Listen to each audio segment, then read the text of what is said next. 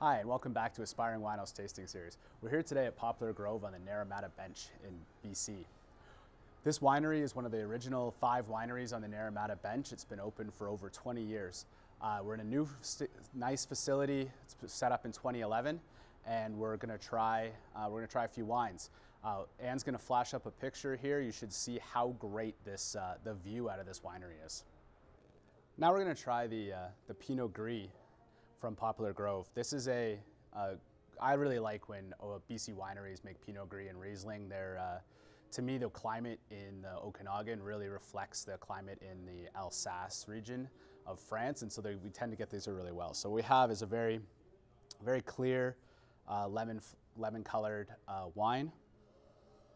Bit of a medium, medium nose. Let's see, it kind of tastes, smells like, uh, smells like honey with a little bit of some aromatic I would say maybe some, some lime. It's dry. I'd say it's got a medium acid and it's got a, a really nice lime and honey and notes, maybe a little more aromatic. I'm struggling to put my finger on it. And um, it's got medium, light to medium bodied and a medium finish, and a, that's really nice. So let's see what's next. So now we're going to try the Poplar Grove Syrah.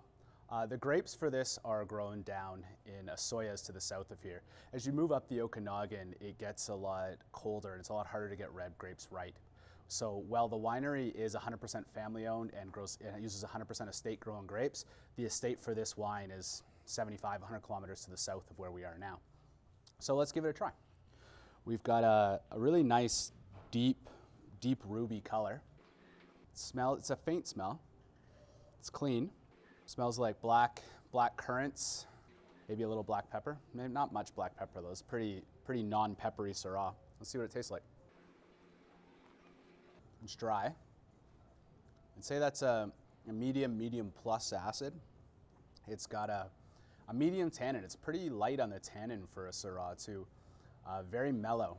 Uh, it's, it's, I'd still say it's medium plus, medium, medium two full bodied, medium plus. Uh, it tastes like black currant. It's really mellow. It doesn't have that overpowering black pepper bite that I like and, and can't stand. It still kind of tasted a bit, the, the, bit of that black fruit. So we're, it's solidly a medium to long finish. That's a, that's a really nice wine. Next, we're going to try the Merlot. This one's growing uh, up here on the Naramata bench, so it's going to be a little bit of a cooler climate than the Syrah we just tried. It's got a very deep uh, color. It's almost a, a almost a tawny uh, it's very, it's still a little ruby, but it's, it's pretty deep. Anne's making faces at me. She doesn't agree with my assessment of the color. So let's uh, see how it smells. It's got a much, much stronger smelling than Syrah. Maybe not quite uh, a pungent aroma. I'm still medium plus maybe, but it smells of uh, smells earthy, not quite of mushrooms, but something down that forest floor road. I'll see how it tastes. It's got um, it's dry. It's uh, I'd say medium acid. It's got a lot more tannin for a Merlot. There's a there's a lot of tannin in this wine, a lot more than we had in that Syrah we just tried. It's full bodied, and uh, let's see. Let me just go back for the flavors. The flavor is still very much uh, herbaceous sense. It's still got that velvety Merlotness, but it's a lot it's a lot stronger on its own than a lot of Merlots are, and it's got a it's got a pretty good finish. I'm again, I'm still tasting the wine, so that's a, that's a really nice finish on that Merlot. And um, and Anne's definitely a fan. She's smiling, as you know. She's the uh, she's the right bank girl in this relationship. So let's see what's next. So up next, we're going to try the Cabernet Franc. Uh, this is again also growing down in Osoyoos. There is some Cab Franc growing up here on the Naramata bench, but it goes into a single vineyard bottle, which is not what we're trying today. We're trying the Cab Franc from, from down in Osoyoos. So it's a, it's a deep garnet color. It's very, uh, very rich in color, but still somewhat translucent. So let's give it a, smells, uh, it's got a medium, medium aroma. It's clean. It's uh, struggling to put exactly my finger on it. Maybe um, plum, plum, that's what it is. Uh, so let's give a, let's give a, let's give it a taste. It's dry. It's, uh, medium acid, medi medium tannin. The body's really weird. It's like nothing up front, really smooth, kind of delicate, and then the back end's like a rap star's girlfriend. It just hits you in the finish, full in your mouth, and you're uh, you're uh, you're getting this uh, long finish that's almost stronger than the wine was at the beginning. It's like a light-bodied wine in your mouth, and then the finish, it's like it was a full-bodied wine. And you're getting a uh, you're getting plum, you're getting oak, uh, and with that nice long finish, this is a really nice wine. Uh, probably with that tannin, will probably uh, would age really well, or would help, or will blend in, might age really well with any other Bordeaux styles that we might try here coming out. Next, we're going to try the Legacy uh, wine, which is their uh, their take on a Bordeaux blend.